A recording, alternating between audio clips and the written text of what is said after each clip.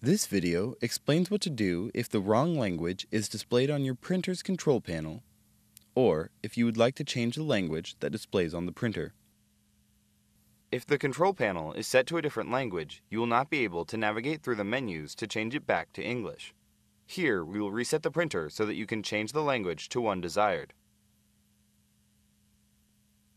Reset the printer by first making sure that the printer is turned on.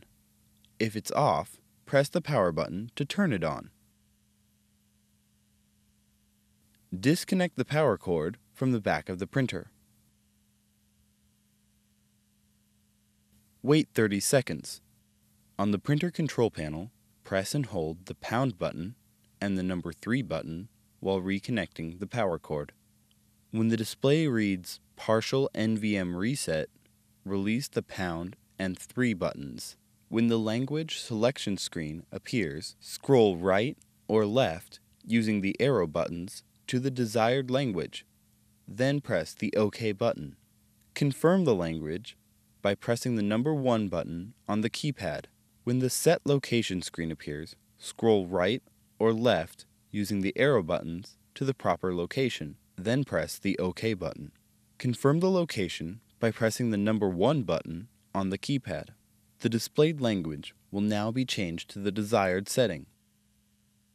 This step provides information on how to change the language on your printer from the control panel. Change the language by first making sure that the printer is turned on. If the printer is off, press the power button to turn on the printer. On the printer's control panel, press the Setup button. Using the arrow buttons, scroll right or left to the Basic Settings option, then press the OK button. Again, using the arrow buttons, scroll right or left to the Set Language option, then press the OK button. Scroll with the arrow buttons through the language options until the desired language is displayed. Press the OK button to select the language.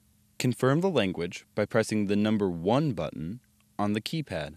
When the Set Language screen appears, scroll right or left using the arrow buttons to the proper location. Then press the OK button. Confirm the location by pressing the number 1 button on the keypad.